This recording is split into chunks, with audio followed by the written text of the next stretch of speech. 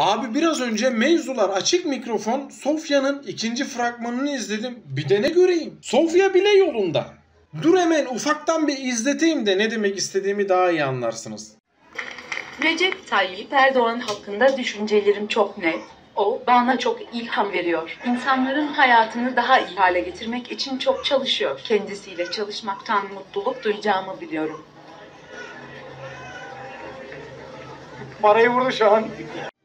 Bak ya robot bile kendisininle çalışmaktan mutluluk duyarım diyor. Bunu söylemesi bile Türkiye'den sponsor almasına yeterli. O bile yolunda ya. Ülkede yaşayan insanları bırak, ülkeye giren her şey kendini düşünüyor. Olur da hani yarın bir gün Türkiye'nin bana işi düşerse diye şimdiden Cumhurbaşkanına yol yapıyor. Yağlama yapıyor. O bile yolunda ya. Ama Oğuzhan Uğur'un da dediği gibi başında yapay olsa da sonunda zeka var. Herkes bizim gibi salak mı ya düşüncelerini direkt belirsin?